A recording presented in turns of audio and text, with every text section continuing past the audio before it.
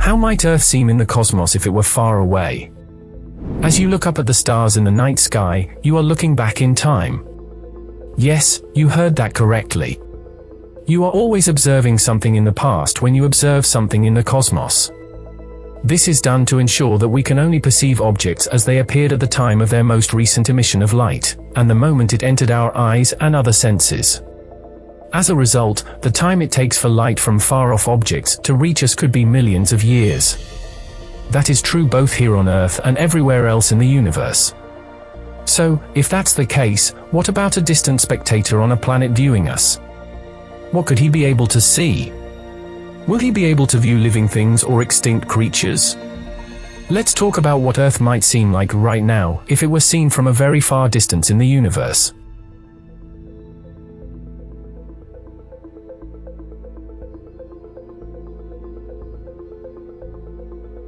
How do eyes work? How are we able to perceive everything around us? The fact that it is quite simple suggests that physics is undoubtedly at play. When light from a particular object enters our eyes from its emission or reflection, we are able to see an image of that thing. When there is no light to be seen, darkness which is the absence of light is what we see. Even though it is the fastest object in the world, light cannot cover the immense distances of our universe at the speed of light. In reality, even at the speed of light, nothing could possibly travel through our universe in less than 93 billion years due to its immense vastness. You can only view anything as it was at the precise moment the light that is currently approaching was emitted by the object you are watching.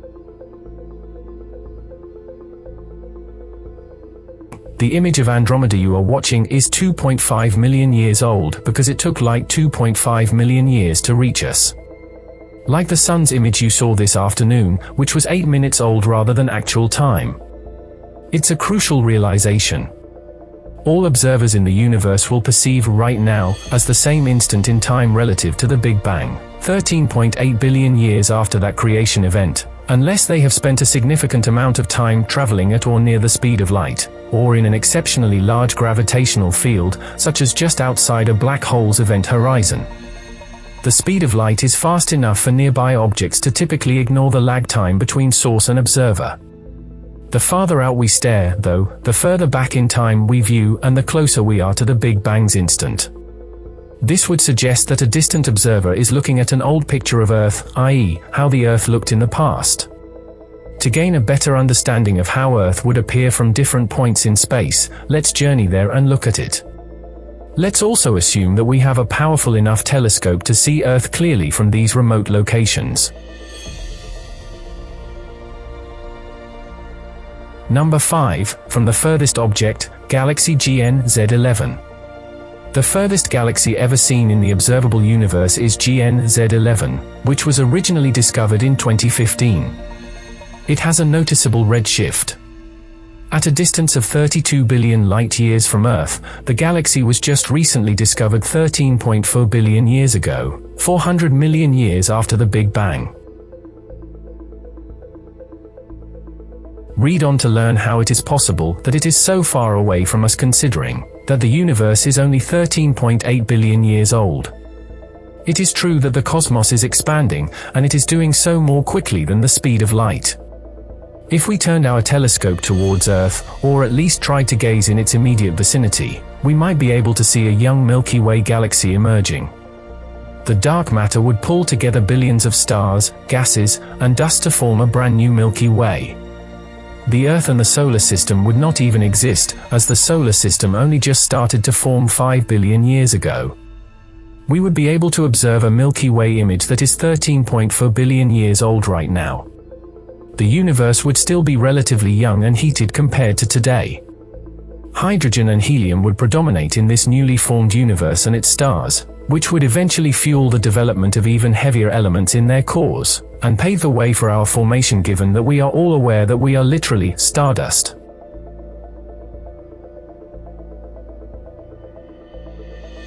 Number 4, from the Andromeda Galaxy, which is close by. The Andromeda Galaxy, often known as Messier 31, is the Milky Way's nearest neighbor. It is located 765 kiloparsecs away from Earth, or 765 million light-years.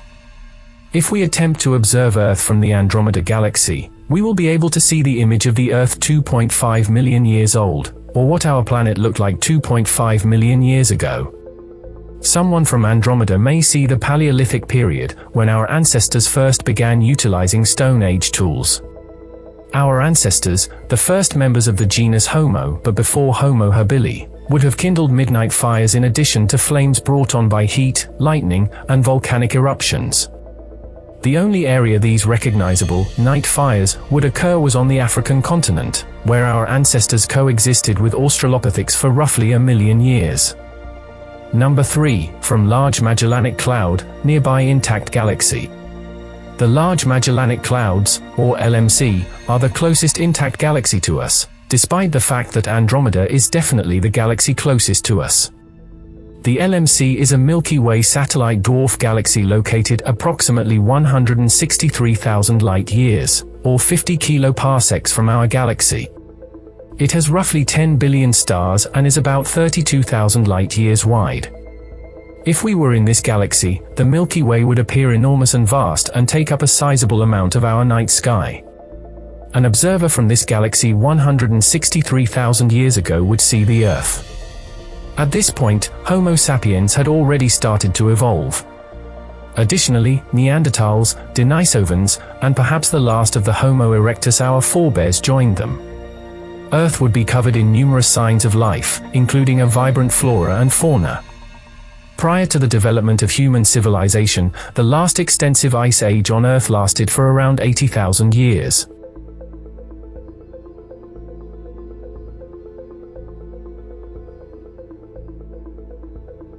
Number 2, from Sirius, the brightest star in the night sky. One of the innumerable stars that make up our cosmos is Sirius, which is the brightest star visible at night. It is an 8.6 light-year distance binary star system. If we looked at Earth from the Sirius star system, it would appear the same as it did in 2014.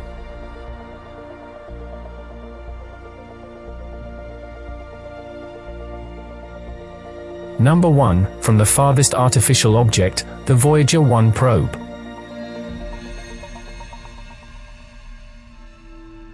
Voyager 1 is the farthest item made by humans, according to records. At this time, it is 158 astronomical units, or 14.7 billion miles or 23.5 billion kilometers, away from us.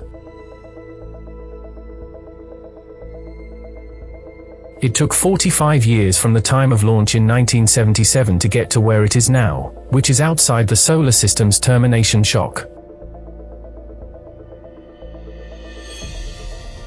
There are only five spacecraft now eluding our solar system, and this one will always be the furthest away until we launch a new mission to catch up with it. However, because it is farther away from Earth than any planet, moon, asteroid, or Kuiper belt object in our solar system, it only has a perspective of Earth that is 21 hours and 46 minutes old and views us as we were at that time.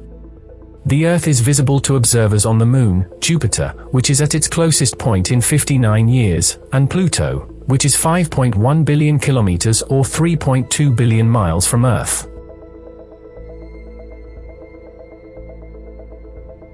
These observers see the Earth as it was 1.25 seconds ago, 33 minutes ago, and 4 hours and 44 minutes ago, respectively. It would be possible to see the Earth from all these different vantage points in our universe's several timelines especially on a cosmic scale, the period of time someone looks back in the past when they look at us from anywhere in or around our solar system is quite brief. Consider how little our solar system is in comparison to one light year, which Voyager 1 won't cross for tens of thousands of years.